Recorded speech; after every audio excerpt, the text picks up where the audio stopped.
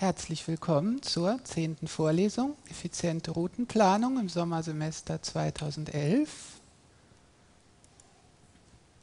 Was machen wir heute? Ich zeige kurz die Transit Node Routing Ergebnisse. Das ist die drittletzte Vorlesung. Ich hatte ja dazu schon was auf dem Forum geschrieben. Heute machen wir nochmal Transit Networks, weil ich da letzten Mal nicht ganz fertig mit geworden bin. Das Wesentliche hatte ich Ihnen erklärt, aber so ein paar Details standen noch aus. Transfer Buffers im Time-Dependent Model ist ganz interessant. Und wenn man da das GTFS passt, gibt es da so ziemlich viele Kanten, die man setzen muss. Das schauen wir uns nochmal an. Und dann machen wir im zweiten Teil Multi-Criteria. Also wenn man mehr als ein Kriterium hat, nicht nur Travel Time, sondern Reisezeit und Umsteigen oder sowas. Da werden wir was zu Pareto-Set sehen und wie man dann die kürzesten Wege berechnet. Und das ist ziemlich interessant. Das geht auch mit Dijkstra abgewandelt. Und das sehen wir dann. Übungsblatt gibt es heute keins. Sie kriegen einfach eine Woche mehr für das, weil, das habe ich schon geschrieben, es kommt jetzt noch ein Algorithmus. Wir sehen ja jetzt, dass irgendwie diese Bus-Bahn-Netzwerke ein bisschen anders geartet sind, obwohl es Graphen sind, sind doch viele Sachen anders durch die Zeitdimension. Und da wollen wir dann nächste Woche einen Algorithmus, die letzten beiden Wochen einen Algorithmus noch für sehen ein. Naja, und da sollte man zumindest ein bisschen was implementieren. Wenn man das GTFS nicht gepasst hat, kann man das nicht machen. Was mir gerade erst eingefallen ist, was ich wohl machen werde, ist, dass Sie die Evaluation schon mal abgeben werden. Da werde ich also ein Pseudo-Übungsblatt machen, wo drauf steht, geben Sie einen Evaluationsbogen ab. Das mache ich nachher, heute Nachmittag irgendwann. Kriegen Sie ja noch eine Mail. Gut, fangen wir mal an mit den, genau, die Web-Demos wollte ich noch zeigen. Da waren nämlich noch zwei. Irgendwie war das so, dass ich gar keine Java-Demo gezeigt hatte. Da hatten sich ein paar drüber beschwert. Ja. Es geht, man kann das auch mit Java machen, tatsächlich. Hier haben wir eine, zwei haben wir mal noch ausgewählt und zum Laufen gebracht. Die sind ziemlich sophisto. Hier sieht man das Saarland, das schöne Saarland. Also in Java sind die Flaggen dann grün und die Linie etwas dünner, genau. So, und dann hat man hier Show Google Route. Ja, wir sehen, dass das, oh ja, hier ist sehr schöner Bogen. Das hat jetzt, glaube ich, nichts mit Java zu tun, aber trotzdem sehr schön. Ein sehr eleganter Bogen, genau. Und dann gibt es hier noch die verschiedenen Algorithmen, kann man anwählen. Ach so, er berechnet den sogar gleich neu. Wahnsinn. Die sind alle schon vorberechnet? Die Vorberechnung. Wahnsinn. Gucken, ob das auch immer stimmt, jetzt so wir das hier machen. Also hier sieht man die Google-Route und die eigene weicht ab, weil das ja ganz andere Daten sind. Aber die verschiedenen Algorithmen, die jetzt hier hinten dran ausgeführt werden, ja, das ist schon ziemlich cool. Das war also Java und kann alles. Dann haben wir hier noch eins. Das kann noch ein bisschen, das hat hier den Control Panel links, da kann man so schicke Sachen machen wie die Settled Notes anzeigen, das können natürlich ziemlich viele sein. Klickt man da auch einfach zweimal links oder? Genau, dann mache ich doch hier mal Settled Notes und nicht so weit weg, weil es sonst zu viele sind, glaube ich. Schauen wir mal, Wahnsinn, oder? Das werden, jetzt sieht man also den Suchraum, da hatte ich ja auch kurz drüber geredet, Jetzt dauert es wohl ein bisschen länger. Genau, man sieht, der wird schnell. Ne, jetzt hat er von hier nach hier gesucht man sieht, dass das so. Ne, er sucht ja immer alles so kreisförmig in dem Radius. Genau. Und jetzt können wir es mal. Aha, und wenn ich hier Google Route, geht das dann auch? Hm. Ja, der muss ziemlich viele. Moment. Ist er jetzt abgestürzt, der Firefox? Nee. Genau, ja, da sieht man, es dauert ziemlich lang, ne, was einfach heißt, der muss ziemlich schnell ziemlich viel suchen. Ne? Selbst wenn das nur im nächsten Ort ist, sucht man schon ziemlich viel. Genau, und dann kann man hier noch auch die verschiedenen Algorithmen auswählen und aha, whatever. Hier muss man die Vorberechnung dann erst anstoßen, oder? Ja? Mhm. Gut. Sieht man ja jetzt hier. Also auch super nett auch mit den Settled Notes. Herzlichen Glückwunsch. Ich habe die Demos auch schon ein paar anderen Leuten gezeigt, Kollegen und so, die waren auch immer ganz begeistert. Genau, jetzt habe ich die auch gezeigt. Dann machen wir mal weiter mit der Vorlesung. Transfer Buffers. da hatten wir schon das gemacht. Die beiden Folien habe ich mal einfach vom letzten Mal rauskopiert. Und die gehe ich jetzt noch mal ganz kurz durch. Das ist jetzt der erste Teil der Vorlesung. Machen wir einfach noch dieses Parsing weiter. Wir erinnern uns, da gab es ein Problem. Das Einfachste war ja einfach, dass man äh, da Knoten malt, wenn immer was passiert. Hier kommt irgendwas. A, das ist jetzt die Station. Ne? Station davor, Zeit, so habe ich das geschrieben. Station zur Zeit. Knoten sind einfach bei einer Station zu einer bestimmten Zeit passiert was irgendeine Station A um 9 Uhr fährt so ein ICE ab und hier Station D, eine andere, fährt um 9.30 Uhr so eine Regionalbahn ab. Das ist näher dran. Dann haben wir hier eine Station 10 um 10 Uhr und genau um 10 Uhr kommt die Regionalbahn an und der ICE. Ja? So, und jetzt geht es weiter. Jetzt kann man hier in dem ICE sitzen bleiben oder hier, da habe ich es nicht dran geschrieben, mit der Regionalbahn weiterfahren. Jetzt müsste man ja irgendwie hier eine, ne, der ICE hat halt zwei Minuten Aufenthalt in dem Bahnhof B. Jetzt müsste man ja hier eigentlich eine Kante hinmalen.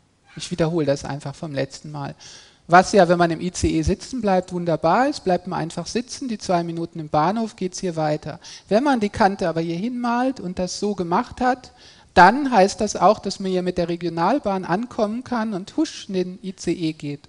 Was aber nicht geht, wenn man sagt, umsteigen dauert fünf Minuten. Das heißt, wenn man so einen Umsteigepuffer haben will, will man diese rote Kante hier nicht haben. Zum Sitzen bleiben braucht man sie aber. Ja? Das heißt, das geht so irgendwie nicht. Also was ich mit dem Bild sagen wollte, das ging letzte Mal sehr schnell, deswegen wiederhole ich das nochmal, dass das hier eine unmögliche Situation ist. Wie man es macht, macht man es falsch. Man muss irgendwie mehr Knoten hinmalen. Eine für den ICE, eine für die Regionalbahn, ja, damit man das unterscheiden kann. Da kamen wir zu diesem wunderschönen Bild das jetzt nicht nochmal neu male. Das war etwas gedrängt, aber ich denke trotzdem klar. Jetzt haben wir hier nochmal, ich rede erstmal hier drüber, ignorieren Sie mal den Text. Das ist einfach dieselbe Folie. Hier ist wieder der ICE. Der kommt jetzt an einem eigenen Knoten an. Da steht jetzt drauf wieder B um 10 Uhr Arrival. Ja, da kommt irgendwas an. Und hier gibt es einen anderen B um 10 Uhr Arrival. Ja, da spricht ja nichts dagegen, zwei Knoten zu haben mit derselben Uhrzeit vom selben Typ. Es sind trotzdem zwei Knoten. Ja, also der ICE hier und da zwei Knoten, verschiedene. So, und jetzt ist der Weiterfahrknoten vom ICE, das ist der hier. Diese Kante, das war die rote von vorher, ist jetzt die Sitzenbleiben-Kante. Und hier bin ich jetzt wieder bei einem Abfahrtsknoten, ne, das ist ja auch sehr intuitiv, Ankommen, Abfahren. Von Ankommen, Arrival zu Departure ist einfach sitzen bleiben im Bahnhof, von Departure zu Arrival ist einfach ein Stück mit dem Zug fahren zur nächsten Station. Und wenn ich jetzt vom mit der Regionalbahn gibt es jetzt diese Kante nicht. Ne? Jetzt kann ich das unterscheiden. Hier kann ich nicht dahin umsteigen, sondern da muss ich zuerst, wenn ich umsteigen will, von einem Arrival zu einem Transfer-Knoten hier. Und der ist dann gerade so gemacht, das mussten Sie ja jetzt auch beim Parsen machen, dass der gerade fünf Minuten später ist. Ne? Von B 10 Uhr ankommen gibt es eine Kante zu B 10 Uhr 5 umsteigen. So, und von umsteigen gibt es jetzt wieder Kanten zu Abfahrtsknoten aber natürlich nur zu dem, die danach kommen. Nachher zeige ich das nochmal im Detail, wie man das macht, wenn man ganz viele hat. Aber nur, ne, und jetzt gibt es natürlich von diesem Umsteigeknoten keine Kante zu dem hier, zu dem 10.02 Uhr, weil das ja früher in der Zeit ist. Ne? Von 10.05 Uhr zurück in die Zeit gibt es keine Kanten. Ja, und damit hat man das Problem gelöst, dass man das einfach, ist jetzt nicht besonders schwer, so vom Prinzip, aber man sieht schon hier, das sind jetzt gerade mal zwei Züge, die äh, ankommen und weiterfahren. Man hat schon so ein kompliziertes Bild. Und da gibt es doch erstaunlich viele Effekte, die man berücksichtigen muss. Und noch ein paar interessante Sachen, die wir später sehen. Okay, und hier war das nochmal ein Abstrakt, was ich gerade gesagt habe. Das lese ich jetzt nicht nochmal vor. Okay, das war das. Das war jetzt kurz Wiederholung vom letzten Mal. Und jetzt machen wir Time Dependent, genau, das hatten wir noch nicht. Jetzt überlege ich gerade, mir fällt gerade auf, dass ich Transit Node Routing noch, das mache ich mal, bevor ich zum Multi-Label Dijkstra. Irgendjemand soll mich bitte erinnern, dass wir Transit Node Routing die Ergebnisse noch angucken. Fällt mir gerade ein. Das war jetzt Time Expanded, wir erinnern uns, Time Expanded ist, ein Knoten ist Station zu einer bestimmten Zeit. Time Dependent war einfacher. Das war das, was einem zuerst einfällt. Ein Knoten, eine Station und an der Kante steht der ganze Fahrplan. Ne? So, was macht man dann? Jetzt hat man dasselbe Problem. Das male ich jetzt nicht nochmal hin, aber irgendwie, ich komme jetzt bei einer Station an und jetzt muss ich wissen, komme ich mit dem ICE an oder mit der Regionalbahn. Wenn ich das nicht weiß, dann weiß ich nicht, ob ich jetzt den ICE zwei Minuten später kriege. Wenn ich nämlich schon drin sitze, geht das. Oder ob ich fünf Minuten zum Umsteigen brauche, weil ich jetzt das Fahrzeug wechsle. Ja? So, jetzt habe ich ja quasi schon die Lösung vorweggenommen in meiner Erklärung. Ich muss mir also irgendwie in meinem Dijkstra nicht nur merken, der dieser äh, Time-Dependent Dijkstra weiß ja immer die Uhrzeit jetzt. Ich bin jetzt hier zu einer bestimmten Uhrzeit an der Station, sondern ich muss auch irgendwie wissen, ich bin auf, am IC, im ICE oder in der Regionalbahn. Ja? Also einfach jedes Vehikel da kriegt so eine ID. L nenne ich die ja mal für Line und die merke ich mir einfach mit und dann in der Kostenfunktion, die hatte ich ja letztes Mal kurz erklärt, da steht dann einfach zusätzlich drin zu der Zeit auch noch die Linie, ja? Was dann einfach heißt, ja, also das heißt, da, da würde dann drin stehen, dieser Kostenfunktion, wenn ich hier ankomme, um 10 Uhr war das, glaube ich, ne, mit, dem, mit der Regionalbahn, dann kann ich halt nicht da um 11 Uhr an der nächsten Station mit dem ICE sein, ne, sondern da muss ich irgendwie warten und so weiter. Wenn ich nicht mit dem ICE ankomme, geht das. Ja, also das sieht so aus, als würde das gehen.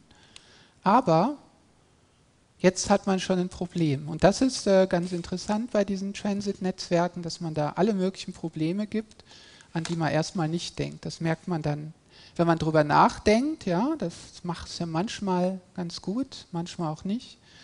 Manchmal macht man am besten einfach, aber hier ist schon ganz gut, drüber nachzudenken. Das ist auch eine Sache, die man dabei lernt. Dass man hier immer, wenn man so Ideen hat, muss man erstmal, stimmt das jetzt auch? Und jetzt ist hier das Problem. Ich zeige Ihnen jetzt das Problem. Das ist nämlich ganz interessant und etwas überraschend. Jetzt habe ich hier, mal gucken, ob ich das jetzt schön hinmale. Ich weiß noch nicht genau, was ich hinmale. Ich glaube, ich mache das mal so. Das ist doch schön, oder? Das ist jetzt ein Knoten. Ich muss jetzt gerade nachdenken, was ich mache, wie ich das male. Ja, genau. Und jetzt nehmen wir mal an, ich komme jetzt hier ich kann jetzt hier ankommen, das ist jetzt time dependent, ich habe also nur eine Kante. Ja, ist ja egal, wie, wie auch immer ich hier ankomme. Ich kann jetzt hier ankommen mit so einem ICE. Ja. Und mit dem ICE komme ich an um, schreibe ich da hin, um 8 Uhr. Wenn ich da irgendwie, ja, um 8.05 Uhr 8.02 Uhr, muss ich jetzt aufpassen. Ach, ich mal einfach mal und lösche das dann, wenn ich was falsch mache. Und ich kann aber auch hier ankommen mit so einer blöden Regionalbahn. Ja, der ICE war 1, die Regionalbahn 2. Und da komme ich an um 8 Uhr. Ja, wenn ich mit der Regionalbahn komme ich jetzt um 8 Uhr da an. So, jetzt kann es ja passieren, dass ich hier irgendeinen Startknoten habe. Ja, und jetzt gibt es ja so zwei mögliche Wege, ja, irgendwie hier und irgendwie da. So. Und was macht jetzt mein Dijkstra? Mein Dijkstra wird hier an dieser Stelle und da geht es dann irgendwie weiter zur nächsten. Jetzt fahren die hier irgendwie beide weiter. Ja, das ist so die nächste Station, sowohl der ICE als auch die Regionalbahn. Was macht denn mein Dijkstra hier an der Stelle? Dijkstra, wie wir ihn bisher immer gehabt haben, der merkt sich einfach den besten Weg, um dahin zu kommen. Ja? Und was ist der beste Weg, hier hinzukommen, ist einfach der Weg hier. Ja? Nicht der. Der ist einfach besser, aus was für Gründen auch immer, weil ich hier um 8 Uhr schon sein kann und hier ist um 8 Uhr 2. Ja? Das heißt, so, und jetzt nehmen wir mal an, ich male da vielleicht noch einen Knoten dazwischen. Ja, genau. Hier fährt jetzt die Regionalbahn weiter. Nehmen wir das einfach so an. Und hier fährt der ICE weiter. Ich jetzt vielleicht mal mehr Farben nehmen sollen. So. So, das heißt, wenn ich aber, jetzt nehmen wir an, hier geht es noch irgendwo weiter und da will ich dann hin. Hier ist mein Ziel. Ziel, Start. Ja? Ein sehr schönes Bild. Ich glaube, dass das noch was wird. So, sehen Sie schon das Problem. Wenn ich jetzt, es kann ja sein, dass es, um hier hinzukommen, einfach schlau ist, in dem ICE zu sitzen. Ja? Weil nämlich hier fährt der ICE lang und vielleicht komme ich da überhaupt nicht hin mit der Regionalbahn. Ja, es kann sein, dass ich da irgendwie, die fährt hier irgendwo lang und von da kommt man da überhaupt nicht mehr hin. Ich müsste dann diesen ICE umsteigen, aber das schaffe ich ja nicht. Ne? Wenn ich mit der Regionalbahn hier hinfahre, um 8 Uhr habe ich nicht genug Zeit, in den um 8.02 Uhr zu steigen. Da brauche ich ja fünf Minuten für. Das heißt, wenn ich an dieses Ziel will, dann muss ich hier schon im ICE sitzen. Dann muss ich diesen Weg genommen haben. Ja? Und hier kann ich schon, das kann sonst wo sein, da kann mit dreimal umsteigen sein. Ja? Das heißt also, um das jetzt zusammenzufassen, es kann von Vorteil sein, irgendwo etwas später zu sein, wenn ich dafür im richtigen Zug sitze. Ja, das ist was, das hatten wir bisher noch nicht. 8 Uhr ist nicht unbedingt besser. 8 Uhr 2 kann auch besser sein, wenn ich dafür schon im ICE sitze. So, Sie fragen jetzt, wenn irgendwas nicht klar ist oder denken kurz drüber nach. Klar? Sie können auch mit dem Kopf nicken, dann mache ich weiter. Ja, sehr schön. Da nickt ihr, die Ecke, nickt da auch jemand? Genau. Gut. Sonst fragen Sie. Aber das ist das Phänomen. So, das heißt also, und einen Satz möchte ich dazu gerade schreiben, und den schreibe ich in wunderschönem Schwarz. Und da schreibe ich jetzt hin, das Problem ist, aber auf Englisch, gucken, ob ich das hinkriege. The problem is. Was ist denn jetzt das Problem abstrakt? Das Problem abstrakt ist Prefixes of shortest paths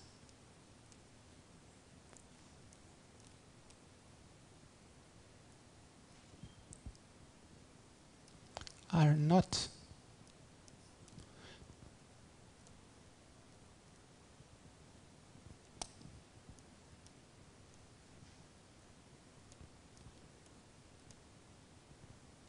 Das muss man sich klar machen. Und das werden wir auch gleich später sehen.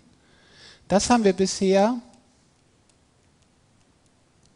ja, immer angenommen. So, jetzt versuchen wir das noch zu verstehen. Gerade habe ich es ja intuitiv erklärt. Das hier ist kein kürzester Weg. Ist einfach so. Wenn ich hier hin will, zu diesem Knoten, dann ist einfach der beste Weg, so rumzufahren. Das ist immer, wenn ich nur dahin will, warum soll ich den nehmen? Nehmen wir mal an, das Fahrzeug ist mir egal, aber ich will so früh wie möglich ankommen, dann fahre ich natürlich hier unten rum, weil da bin ich zwei Minuten früher da. Ja? Warum soll ich mir den auch noch merken? Wenn ich aber dahin will, muss ich hier rumfahren. Nicht nur um da früher, sondern um da überhaupt anzukommen. Ja? Das heißt also, dieser Weg ist nicht optimal und trotzdem muss ich mir merken. Mein Dijkstra muss ich jetzt zwischendurch nicht optimale Wege merken. Und das geht irgendwie gegen Dijkstra, ja, weil das ist gerade das Prinzip von Dijkstra, das ist ganz wichtig, das zu verstehen, also zentral wichtig, dass Dijkstra, so wie wir bisher gemacht haben, nur deswegen funktioniert, weil er immer alle kürzesten Wege bis überall hin berechnet und die dann so erweitert. So, jetzt bin ich hier hingekommen, den kürzesten Weg bis dahin habe ich schon mal. Weil, wenn das kein kürzester Weg wäre, ja, wenn ich so einen längeren habe und hier so ein Präfix davon kein kürzester Weg wäre, könnte ich ja auch den Weg dahin verbessern, indem ich da einfach einen schnelleren hinbaue. Ja, das ist diese Präfix-Eigenschaft. Das gilt hier aber nicht wegen Umsteigen, Umsteigepuffer und sowas. Also eine überraschende Konsequenz. Gut, Sie haben das jetzt gehört. Ich glaube, das muss man sich noch mal in Ruhe so selber überlegen und aufmalen, aber es ist ein ganz zentrales Phänomen. Auch um dann nochmal von der dritten Seite zu beleuchten, dass das irgendwie, das hat auch so eine, man sieht auch, das wollte ich mit dem Bild auch zeigen, das ist auch gar nicht jetzt was hier von der Kante vorher nur, sondern das Phänomen kann ja wirklich nur diese beiden Knoten können die einzigen sein im ganzen Graphen, für die das auftritt. Ja? Nur für diese beiden ist das so, dass ich da wirklich so rumfahren muss, dass der beste Weg ist. Und sonst habe ich das Problem gar nicht. Das heißt, an dieser Stelle, wo das Problem auftritt, hier passiert es ja, dass normaler Dijkstra diesen Label da rausschmeißt und sagt, den Weg da brauche ich nicht. Ja? Aber das kann ich an dieser Stelle lokal nicht feststellen, weil die Knoten, die dafür verantwortlich sind, liegen sonst wo. Hier anderer Erdteil oder was weiß ich und da auch sonst wo. Völlig nicht lokale Info. Ja? Das macht es super schwer, diesem Problem umzugehen. So, was wäre jetzt eine Lösung? Na, eine Lösung wäre, dass man es so macht wie im Time-Dependent Model, ja, dass ich irgendwie hier aufteile und sage, naja, wenn das so wichtig ist, in welchem Zug ich sitze, mache ich da zwei Knoten draus, ja. Jetzt muss man es nicht ganz so machen wie im Time-Expanded Model, das habe ich jetzt hier nicht hingeschrieben. Es ist nämlich, es kann von Vorteil sein, in einem bestimmten Zug zu sitzen, aber wenn ein Zug, da male ich jetzt kein Bild zu, zehnmal am Tag fährt, ja, oder irgendeine so Buslinie, dann ist es irgendwie nie von Vorteil, in der späteren Buslinie zu sitzen, ja. Und deswegen habe ich diesen Satz hier hingeschrieben. Also wenn Bus Nummer 11, es, es kann nie von Vorteil sein, irgendwie aus dem Bus auszusteigen und dann den Bus eine Stunde später zu nehmen, weil der fährt ja immer gleich, immer genau die gleiche Strecke. Ja, das ist also von daher reicht dann ein zusätzlicher Knoten pro Linie.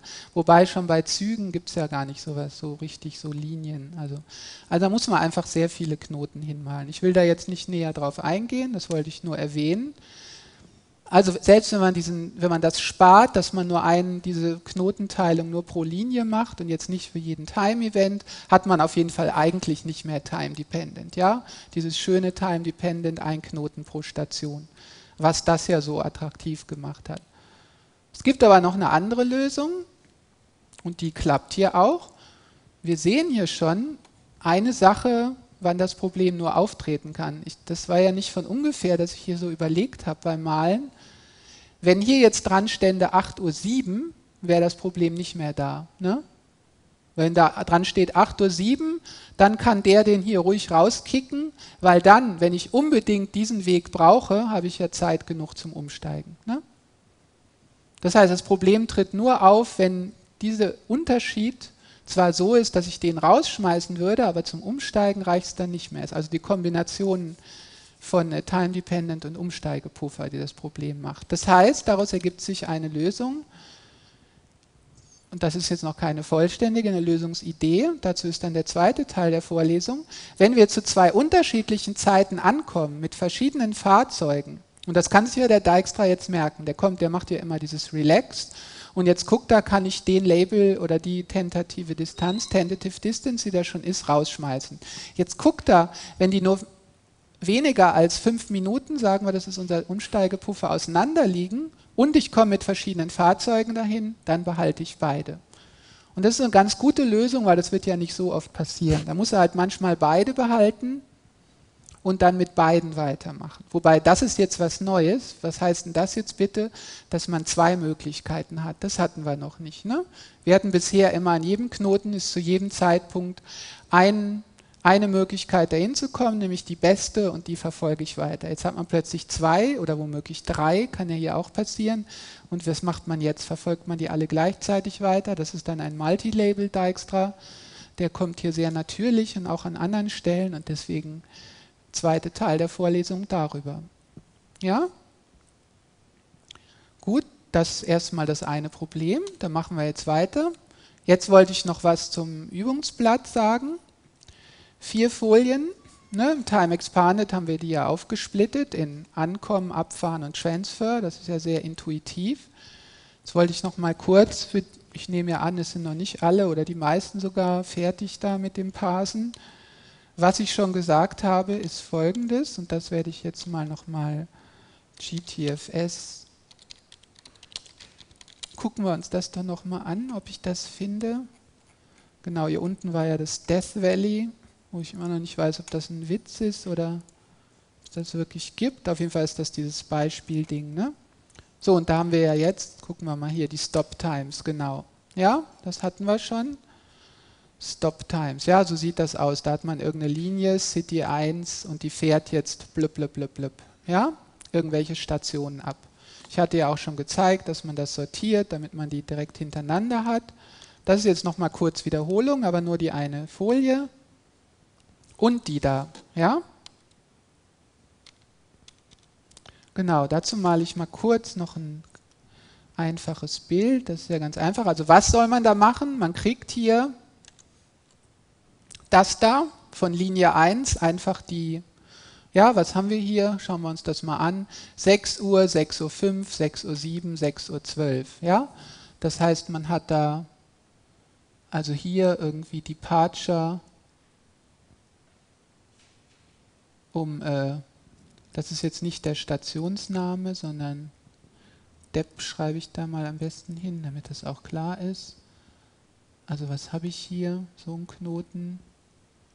Und das ist jetzt Departure um, was war es schon wieder? 6 Uhr genau? Ja, um, ja, ich glaube 6 Uhr, oder? Mhm. Um 6 Uhr, genau. 6 Uhr, Wahnsinn, oder? Wahnsinn. So, 6.05 Uhr ist dann hier, kommt er irgendwo an, Arrival um 6.05 Uhr an der nächsten Station. Ja, da muss man halt die, und dann ist hier Departure wieder um 6.07 Uhr. Also das ist, was man aus so einem Block von Dingern macht. Ich wollte es einfach nochmal, dann komme ich um 6.12 Uhr an der nächsten an, ja, 6.12 Uhr ist ja völlig trivial, aber trotzdem, wenn man einfach mal das Bild sieht. Jetzt macht man einfach diese Kanten. Das ist einfach, was einem so ein Block gibt. Ne? Der gibt einem einfach hier diese Kanten. Und was man jetzt auch gleich schon dazu machen kann, das ist ja jetzt Stufe 1, während dem Parsen, man liest so einen Block und erzeugt gerade alle diese Knoten und alle diese Kanten. Was man auch gerade dazu machen kann, sind die Transferknoten. Nämlich immer, wenn ich irgendwo ankomme, habe ich die Option einmal einfach äh, blub, blub, blub, einmal äh, einfach sitzen zu bleiben in dem Bus, ja, das ist diese Zeit, die ist auch modelliert, zwei Minuten, oder ich steige aus und aus, umsteigen, nicht aussteigen. Wenn ich da bin, bin ich schon da, aber ja, jetzt kann ich hier sagen, jetzt mache ich hier eine Kante zu Transfer um 6.10 Uhr. Ja? Wenn ich umsteigen will, sage ich, brauche ich fünf Minuten oder was immer so für Umsteigepuffer nehmen. Und jetzt bin ich bei einem Transferknoten zehn Minuten später. Und dasselbe hier.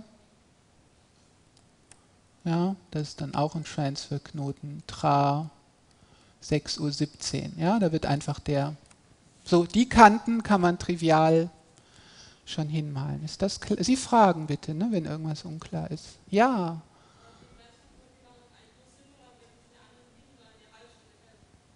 Nochmal bitte.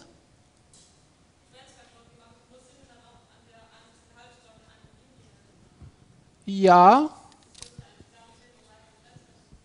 das ist wahr. Das kommt jetzt noch im Abschnitt Optimierung. Die Bemerkung war, den Transferknoten brauche ich ja nur, wenn da auch eine andere Linie noch fährt. Das stimmt. Aber es schadet auch nichts, wenn man ihn hinmacht. Genau. Es gibt so, da komme ich gleich zu, habe ich eine extra Folie zu, allerdings steht der Punkt nicht drauf, aber noch ein paar andere. Man wird hier so ein paar Knoten hinzufügen, die man eigentlich nie braucht. Sie tun aber auch nicht weh, weil der Dijkstra wird dann dahin gehen äh, und äh, sehen, da geht es nicht weiter. Genau, aber eigentlich in einem praktischen System wird man die noch wegmachen. Genau. Und die hier, das Schöne an diesem Modell ist, dass man hier auch so Kantentypen hat, so intuitive. Das hier sind einfach so Reisekanten ja, zwischen Department Arrival, Arrival Department. Das ist einfach Sitzen, im Bus sitzen und es fährt. Es fährt oder steht an der, ja, ich, ich bin unterwegs. Alight, Alight ist Aussteigen, das sind Aussteigekanten, ja, von Arrival nach Transfer. Die gehen immer von Arrival nach Transfer, ist Aussteigen. Ich steige auf oder umsteigen.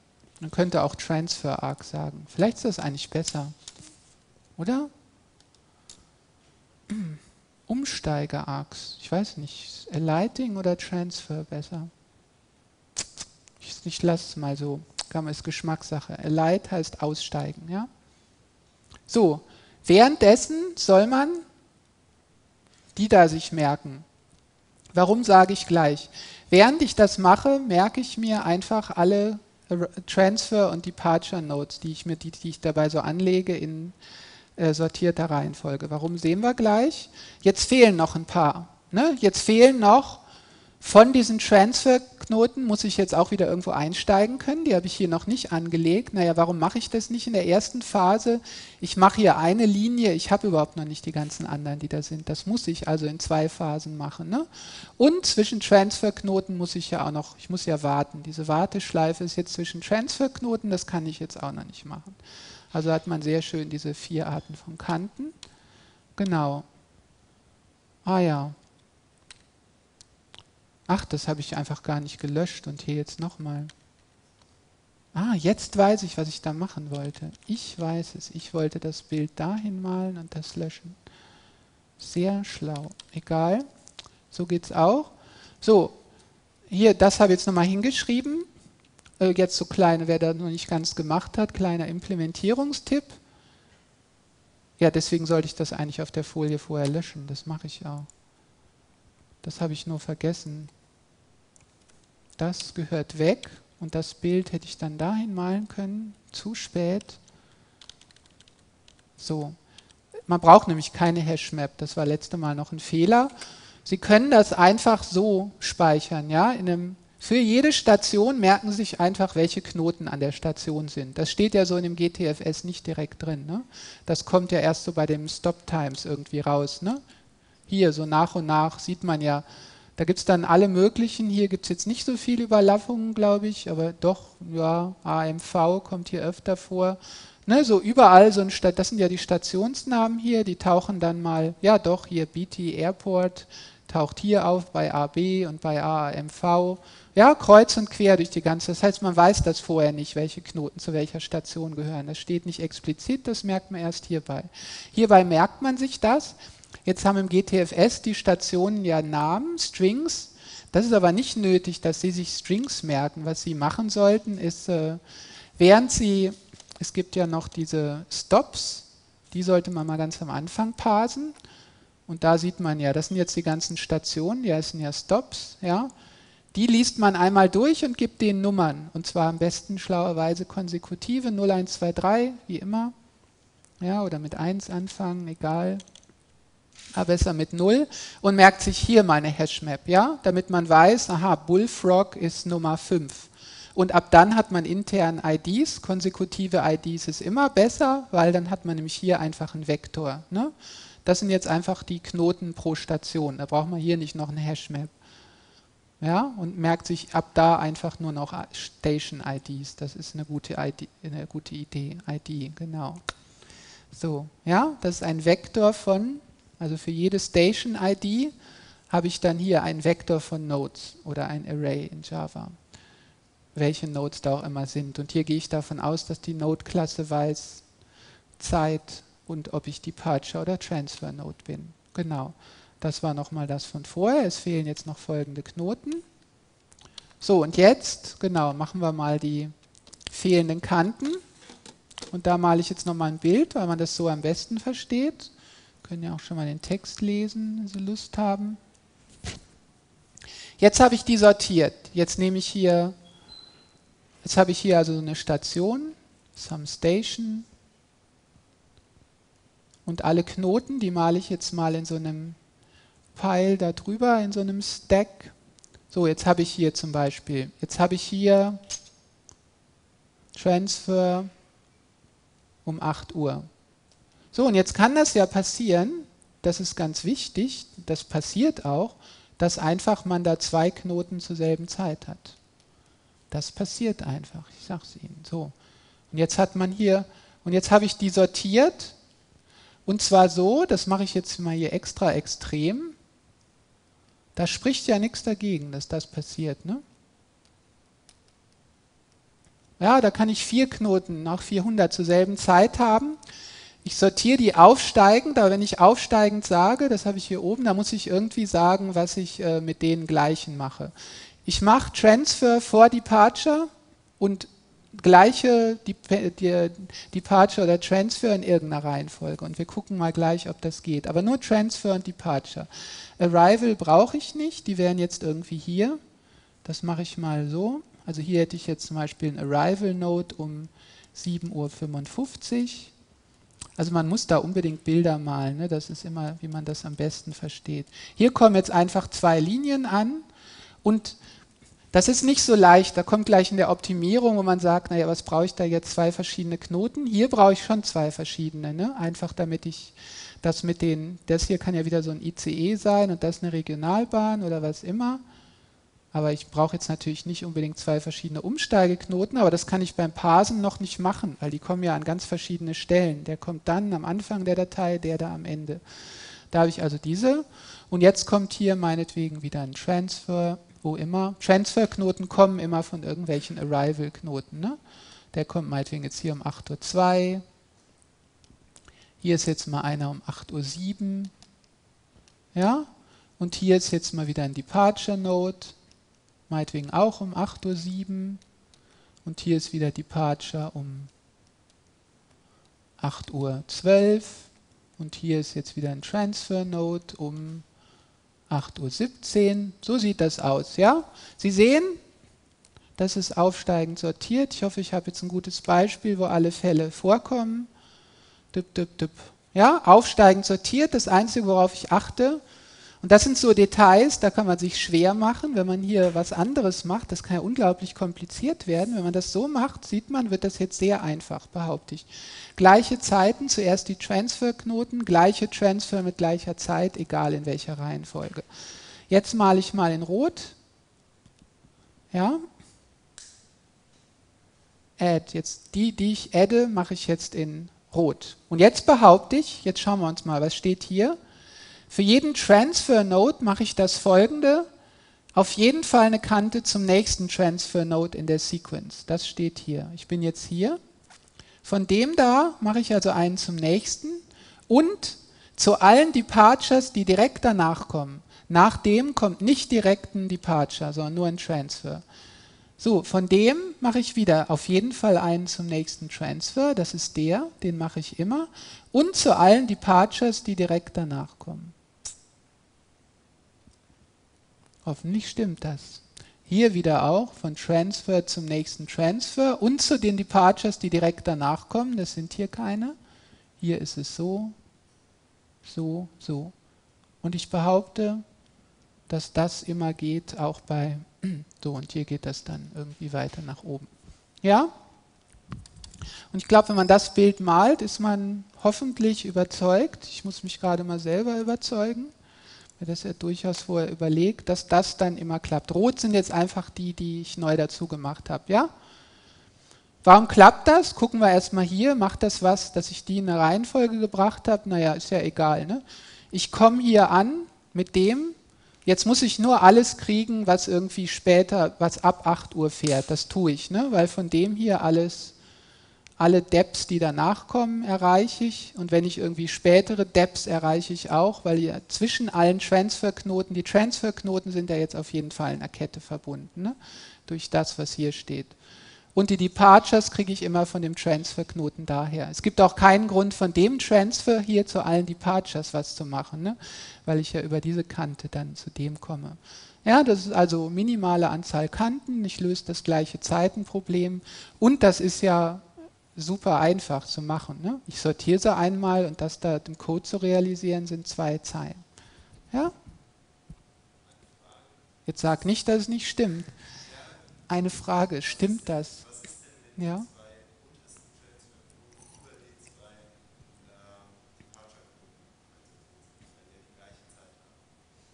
Ja, das, das ist wichtig. Ne? Deswegen steht hier, in der Vorsortierung, das ist quasi so ein Trick, um die Implementierung einfach zu machen, sort the transfer nodes for equal time, sort the transfer nodes before the departure node.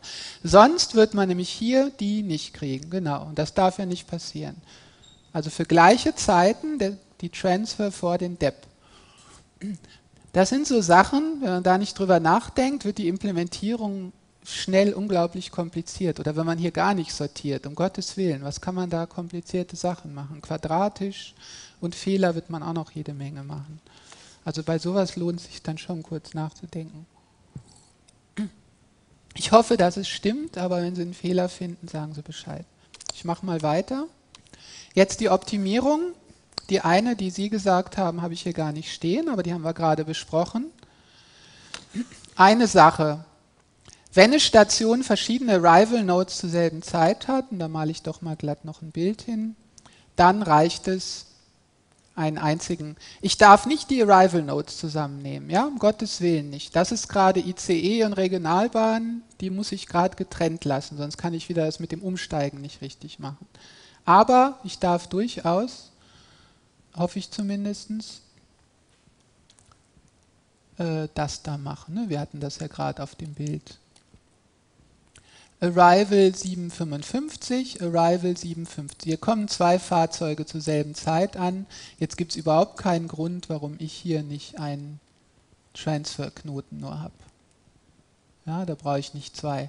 Ist aber nicht so einfach, das beim Parsen zu machen, weil ich die zu ganz verschiedenen Zeiten, ne, in meiner Stop-Time, hier ist ja keinerlei Sortierung oder ja, das kann ja die eine Linie und dann kommt irgendwann die andere, die halt bei der Station was zur selben Zeit hat. Ne? Das merke ich nicht so direkt. Aber trotzdem, das könnte ich, wenn ich wollte, einem, das spart mir natürlich einen Knoten und eine Kante und das ist ja immer gut.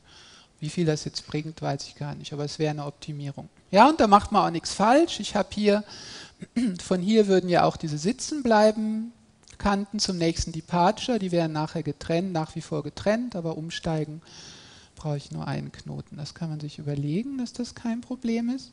Und jetzt, äh, das ist ganz interessant. Hier kommt nochmal Contraction rein, das ist gar nicht Contraction. Wir gucken uns mal das typische, die, das, die typische Departure Node an. Hier haben wir eine Departure Node, da departet irgendwas, Step um was weiß ich, 8 Uhr. Hm, nehmen wir das mal so. Jo, nehmen wir meinetwegen Departure um 8.02 Uhr. Jetzt nehmen wir an, wir haben hier, ja, und nehmen wir an, hier war ein Arrival um, hier war ein Arrival um, muss man ja nicht genau dieselben Zeiten nehmen, um 8 Uhr. Und hier war irgendwo ein Transferknoten um, äh, was weiß ich, der davor war halt gerade um 7.57 Uhr. Kann ja alles sein. Und dann von hier fahre ich wieder zur nächsten Station weiter mit, der, mit dem Zug. Ja. Arrival um, keine Ahnung, 8 Uhr. Nehmen wir an, das ist jetzt ein Bus und kein Zug. Dann dauert das ja alles nicht so lang. Dann fährt er vielleicht 10 Minuten zur nächsten Station. Ja.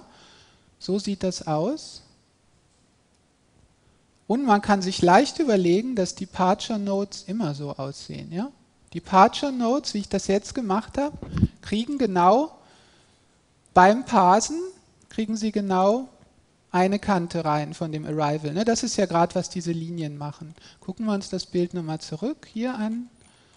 Schauen wir mal, genau, hier. Ne? Departure Nodes kriegen immer genau, das ist ja pro Bus zu einer bestimmten Zeit kriegt er genau einen rein von dem Arrival vorher und einen raus fürs Weiterfahren. Und das, was passiert hier, in dem Ding kriegt jeder Departure Node noch genau einen rein von Transfer. Ja? Das heißt, jeder Departure Node hat genau drei Kanten. Ganz genau. So. So sieht das also aus für jeden Departure Node. Und jetzt kann ich genau das machen, was wir bei Contraction gemacht haben. Ich kann jetzt einfach den Departure Node hier rausschmeißen, indem ich ihn einfach kontrahiere. Wir haben ja schon gesehen, Kontraktion erhält ja die kürzesten Pfade, indem ich jetzt hier einfach die Kante reinmache und die Kante reinmache und den rausschmeiße. Ja? Und was habe ich gemacht? Einen Knoten rausgeschmissen und aus drei Zweikanten gemacht. Sollte man machen. Ne? Und das ist auch gemacht. Ja, in dem System, was da läuft, wovon ich erzählt habe, ist das natürlich so gemacht. Das ist eine Standardoptimierung. Ja? Und es ist nett, dass mit Kontraktion versteht man das ja sofort, warum das geht, weil das ist genau, was wir gemacht haben. Ja? Einfach ein Spezialfall. Also das sollte man wirklich machen, weil ich meine, die Kanten mal eben um 50 Prozent reduzieren und ein äh, Drittel der Knoten rausschmeißen, lohnt sich schon. Und was hat man jetzt? Jetzt hat man quasi, um das auch intuitiv zu verstehen, hier hat man jetzt immer quasi fahren und warten an der Station, fahren und warten. Hier hat man jetzt gerade immer gleich zur nächsten Station, zur nächsten Station. Und hier hat man einsteigen und fahren in einem. Ne? Das heißt also von dem Transfer Genau, das hier war der Einsteigeknoten der Fahnen. Die hat man dann quasi zusammen, die beiden Kanten. Ja? Gut. So, das war, das wollte ich jetzt nur kurz bemerken. Das ist jetzt Ende vom ersten Teil.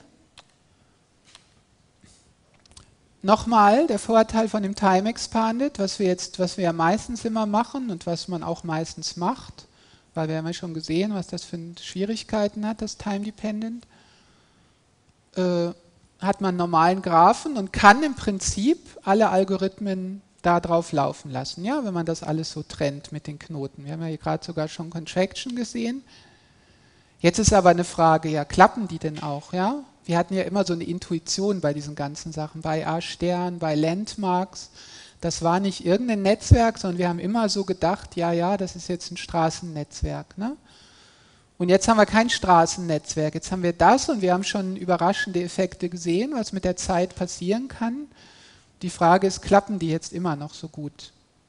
Und das will ich aber nicht jetzt machen, sondern in der nächsten Vorlesung, weil wenn es da kein Problem gäbe, dann wären wir jetzt ja fertig. Dann bräuchte man überhaupt keine verschiedenen Algorithmen für Straßen und für Transit-Netzwerke. Dann nimmt man einfach Conjection Hierarchies oder Transit Node Routing oder was weiß ich und lässt es jetzt einfach hier drauf lauten. Aber irgendwie klappt das nicht so gut. Ja, das kann ich schon mal vorwegnehmen. Und das ist gar nicht so einfach zu verstehen, warum. Und ich habe, man sieht hier die andere große Schwierigkeit der Vorlesung ist Dijkstra richtig zu schreiben. Ja? Also dazu gibt es mit Sicherheit eine Klausuraufgabe. Wie schreibt man Dijkstra? Da dürfen Sie dann nicht nachgucken. Ja, aber es ist ja auch, oder? Das ist ja auch einfach frech. J-K-S-T-R. Das kann man ja nur falsch schreiben. So, bevor ich jetzt weitermache, jetzt der, der zweite Teil ist Multi-Label Dijkstra wollte ich Transit Node Routing, weil da gab es doch ein paar Ergebnisse, die hatte ich letztes Mal gar nicht diskutiert, weil auch einfach noch nicht so viel da waren. Gucken wir mal hier. Genau, hier, Transit Node Routing Experiments. Das schauen wir uns doch mal an. Noch nicht so viele, aber ja, vielleicht machen sie ja noch ein paar, die, die jetzt mit dem Parsen fertig sind. Also erstmal sehen wir hier, dass die Zeiten jetzt nochmal gut zehnmal schneller sind, als sie es vorher waren. Ja. Nochmal ganz kurz, Transit Node Routing war das, wo man irgendwie alles vorberechnet. Hier ist Start, hier ist Ziel. Man nimmt die fünf nächsten, diese Access Nodes vom Start, die fünf von hier oder wie viel das sind, sagen wir vier hier, fünf hier. Probiert alle fünf mal vier Möglichkeiten aus, um zu wissen, welcher jetzt der kürzeste ist. Hier, das war's. Ne? X Source sind die paar an der Source und das sind die. 5 mal 4 ist 20. Man sieht, in Realität sind es nicht 20, sondern eher sowas wie 100, 200. Aber trotzdem, für die muss man dann einfach nur immer drei Zahlen aufaddieren, ne? weil man alles vorberechnet hat. Von hier zu dem, das Stück steht in der Tabelle, von hier zu hier steht in der Tabelle, von hier zum Ziel.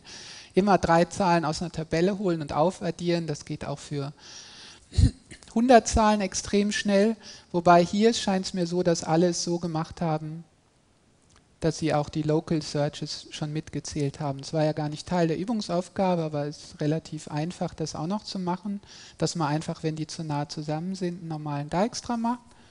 Und was man auch merkt, das ist das Lustige an dieser Methode, das Widersinnige, diese lokalen Suchen dauert noch am längsten. Ja? Obwohl die klein sind, muss man da halt einen kleinen Dijkstra machen und der läppert sich halt auch. Das heißt, es ist tatsächlich so, dass diese kleinen Suchen brauchen vielleicht eine Millisekunde, was ja schnell ist. Und diese weit weg suchen, da muss man einfach nur die paar Möglichkeiten auszuprobieren, weil man alles in der Tabelle nachguckt, die da brauchen eine Mikrosekunde. Ja?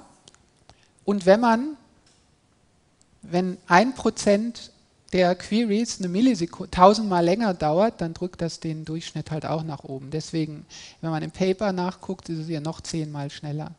Nicht, wenn Sie den, wenn Sie haben irgendwie von 100 Queries sind 99 eine Mikrosekunde und einer eine Millisekunde, dann gibt das im Durchschnitt 10 Mikrosekunden. Obwohl nur ein Prozent länger dauern, aber die ein Prozent brauchen gleich tausendmal länger.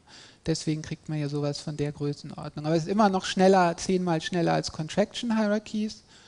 Aber äh, genau, wenn man dann diese lokale Suche noch ein bisschen tunt, was ja jetzt nicht Teil der Aufgabe war, dann ist es auch hundertmal schneller.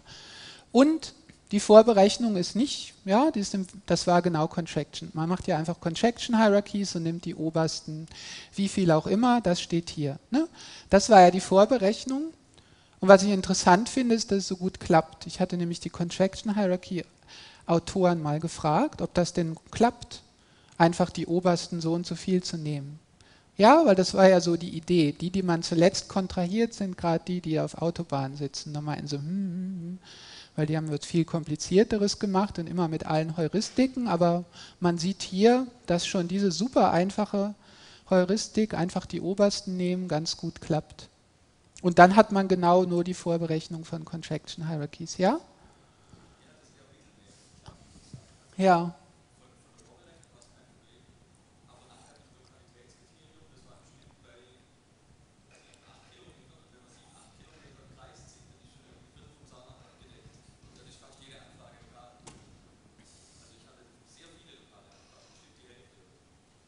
Ja, das genau. Wobei, wenn man jetzt so eine Skala größer denkt, also die Bemerkung für die Aufnahme war, dass wenn man das so macht, dann klappt das zwar, aber nicht lokal wird es erst ab ziemlich weit weg. Ja, zum Beispiel im Saarland fast gar nicht. Da muss man dann schon.